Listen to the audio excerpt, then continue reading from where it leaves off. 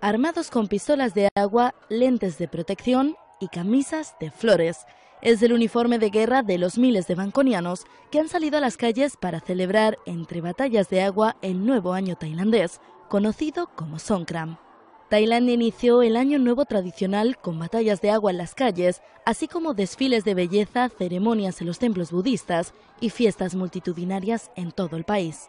Decenas de miles de turistas también se unieron a las celebraciones callejeras. Hasta el próximo lunes, cuando finaliza el Festival de Agua o Songkram, nadie está a salvo de recibir un remojón, incluidos los policías o los monjes budistas. Pistolas o cubos, cualquier instrumento es bueno para participar en esta popular guerra en la que las pinturas de batalla son los polvos de talco que se untan en rostro y brazos. Con motivo del luto por la muerte del rey tailandés el pasado octubre, las autoridades han pedido que se limite el horario de fiesta y la música en lugares turísticos como Khao San o Silom, en Bangkok. El Songkram, que proviene del sánscrito Samkranti, movimiento astrológico, coincide con el final de la época seca que precede a las lluvias del monzón, sumamente importantes para las cosechas de arroz en la región. Durante estos días también se celebra este Año Nuevo tradicional en otros países como Laos, Camboya, Birmania, en el sur de China y en el noreste de la India.